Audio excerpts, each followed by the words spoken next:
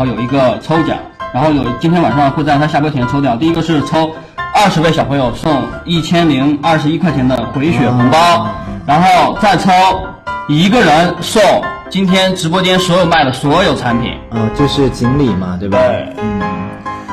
弟弟呢？我看到有人说弟弟呢，弟弟在后面睡觉，他今天一天都蛮困的。对对对来，看我把他抱过来。哎呦，我的天哪！来了来了来了来了，我很担心的。其实我今天直播之前就。